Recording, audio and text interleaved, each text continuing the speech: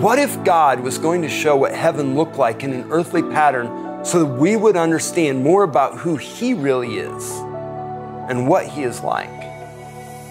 That happened. Moses took 70 of the elders up on that mountain, sat at a table on the sapphire pavement, that same sapphire sea that Ezekiel saw, the one that John experienced as a sea of crystal, and he ate a meal with God.